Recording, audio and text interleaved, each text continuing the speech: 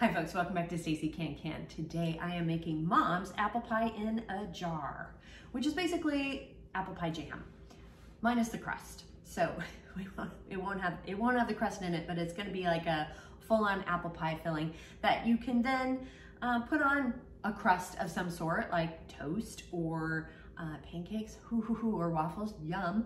And also you can make some um, fruit tarts with it. You can get some uh, phyllo dough, puff pastry, and uh, add, add some of this into it and it'll be delicious. So while I go over all the information, please uh, follow along down below in the show notes. And while you're down there, please hit like and subscribe because that does help. So the ingredients that you need are um, uh, three-fourths of a cup of raisins or cranberries. I'm using cranberries. It's, it's up to you. I just, I like the punch of a cranberry a little bit better than a raisin. And we just eat more cranberries and raisins anyway, so I have them available. Um, six cups of uh, chopped cored and peeled Granny Smith apple or a tart apple. You, you do want, you don't want, um, you don't want, you want more of a baking apple, something that's a little um, sturdier, hardier, and not something soft that you would use to make um, applesauce. So just like a good tart pie apple, essentially. Uh, and then a one lemon that is, um, we're gonna grate the zest and juice it uh, six, I don't have it in here, but six tablespoons of pectin. I will pull that out in a second. Pectin, either ball or you can use the, um, oh, Bernardin, I think is, I'm reading it here, Bernardin, I believe, original pectin, I think that's how you say it, don't quote me on it. Um, a, a, package of that. Uh, hold on to your horses, nine cups of sugar. I know, but jams and jellies have a lot of sugar in them, and you don't use a ton. But yes, it's it's gonna have a lot of sugar in it. Um, a teaspoon of uh, cinnamon and then a half a teaspoon of nutmeg. And both of those are ground. So the tools that you need. We definitely uh, will need our, um, our funnel, our ladle, our jar lifter, headspace tool, uh, headspace tool, um, the chopstick because we are uh, bubbling, and then the um, this guy here is called a lid lifter. Words are hard. Um, other tools that you can use if you want, um, I, this is the zester I'm using. If you have a different zester, use that. I'm using, you know, a vegetable peeler for coring. I have a, a, a tool to juice. Some of these you can just use with a knife, you squeeze the juice with your hands, whatever. And then I do have this little apple corer thing that I'm gonna use because it makes my life easier after peeling. And I like have the tool, so I'm gonna use it. Uh, you need some measuring cups and spoons. We've got um, canner here. This makes about around six half pints or six eight ounce jars of, of uh, uh, eight ounce jars.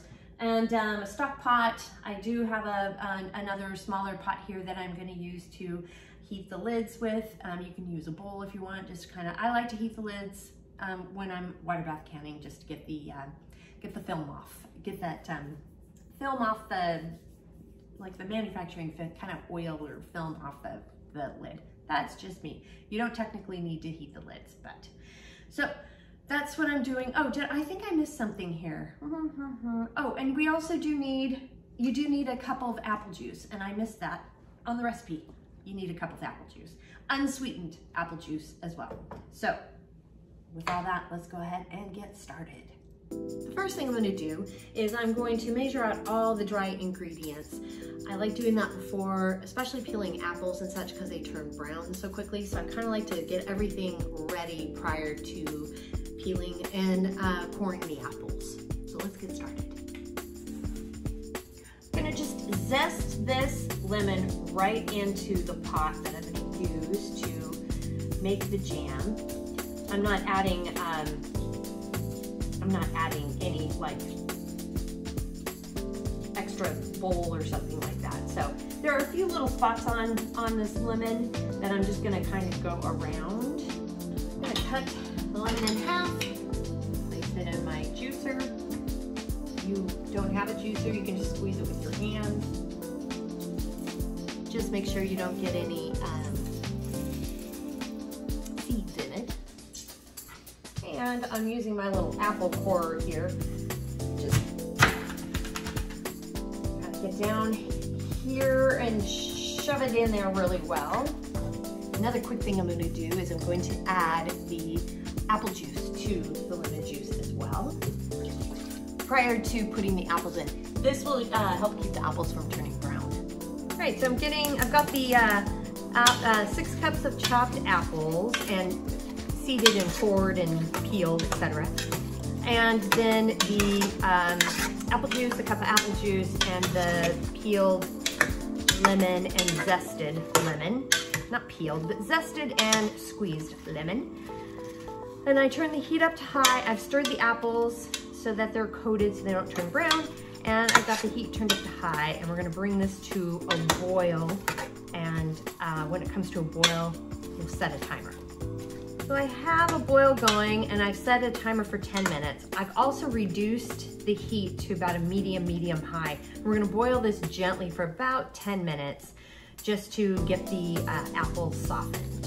And you just, you wanna stir occasionally. You don't need to continuously stir, but uh, give it a stir a few times. So I've got the apples. They're they're nice and soft. I'm, it actually only took about four minutes to soften these up, so just keep that in mind as you're going.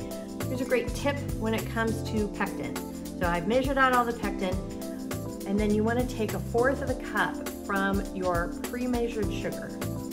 From the pre-measured, don't measure out more sugar, just measure out your sugar and then add a fourth of a cup to the pectin. And I like to, you can use a whisk, but I like to use a fork and just stir it all in really well, like so.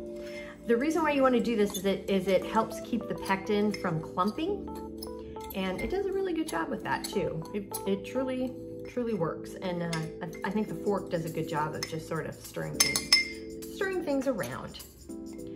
Now you can sprinkle it in to the to the apples here. We're gonna give this a good stir. We're stirring this until dissolved, which is basically about now. And then we're stirring in the raisins or craisins, whatever, whatever you're choosing to use. Like I said, I'm using craisins today. It's like a, a tart craisin. And now we're gonna kick the heat up again and we're gonna bring this to a boil. And you wanna stir this frequently. Now we're gonna dump in, we've got a rolling boil going and we're dumping in all the sugar at once. And look at how painful that is. Sorry. Gonna get this good and stirred. We're gonna bring this up to a boil as well. You wanna stir this continuously.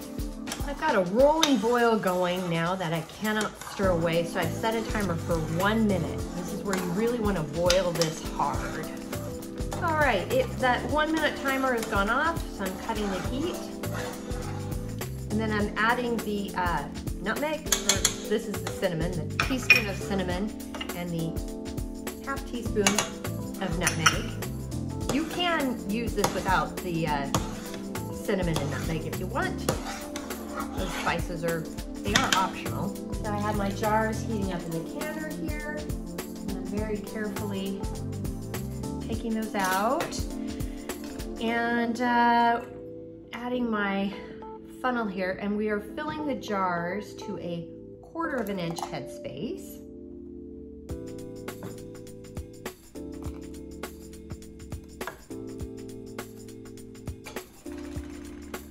Am bubbling just a little bit. This is pretty runny and hot, so I am just kind of giving it a spin around. I normally don't because um, with jams and jellies, but this one's pretty, pretty loose. Um, not loose, but thin, I should say. So, and uh, got it up to a quarter of an inch headspace. I'm using the lid water and um, with a paper towel here and And then using the lid lifter to lift out the lid, adding my ring. Just remember, it's just a fingertip tight. It's super hot, so be careful. Fingertip tight. And uh, now we lift it into the canner. And remember, do not tip or tilt, just carry over because you don't want to get foodstuffs in between the lid and the jar. Got all the jars in the canner now. So I've take the heat up to high and covering it. When it comes to a rolling boil, I'll set the timer. I've got a rolling boil going with also an inch of water over the top of the jars, just as a friendly reminder. You gotta make sure those jars are covered properly. Um, so I've got a rolling boil going and I've set the timer for 10 minutes for my altitude. For more altitude information in your area, you can check over on the side here or down below in the show notes. 10 minute timer has gone off for my altitude. I'm cutting the heat and then I'm very carefully lifting the lid away from my face. Watch it. That'll give you, look at that steam. That'll give you a facial you do not want. And I'm gonna set another timer for five minutes. This is gonna give the jars, uh, the food in the jars an opportunity to settle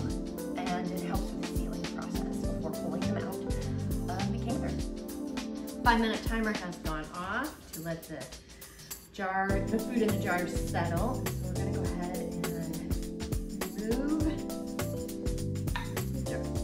That one's already sealed. Yay! Love hearing that little pop. Got another seal.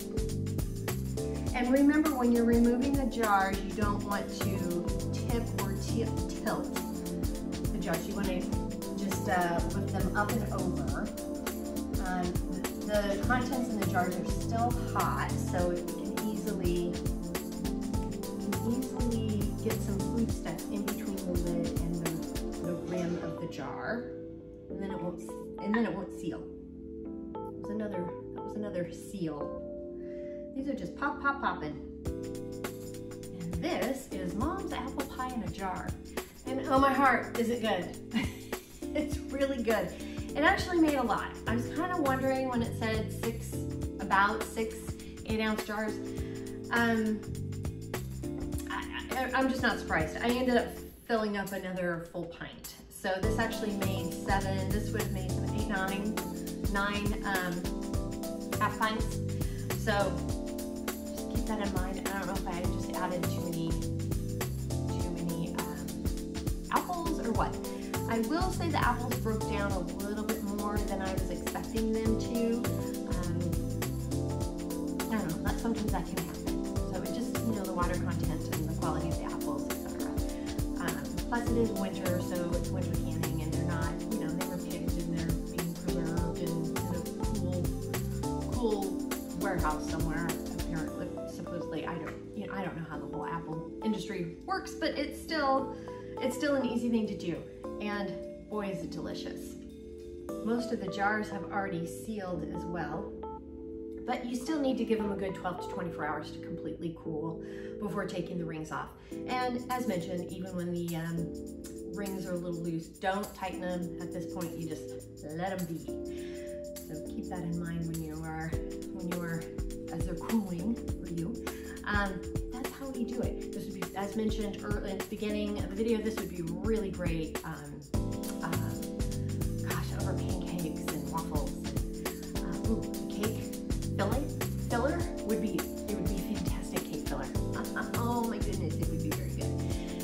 also it would be uh, great with puff pastry. Um, you can make a bit of a glaze with this by adding um, a little apple juice to kind of thin it out a little bit as it sets up. And you can put that over, over um, pork or ham or, or chicken and um, marinate it as such and it will, it'll give it that nice kind of like fall flavor for it. Fantastic flavors in there. It's really, really, really good. So it's got it's pretty versatile. It's pretty versatile there too. Mixed in with yogurt. A lot of uses. A lot of uses. So that's how we do it. Now the recipe for all of this is down below in the show notes.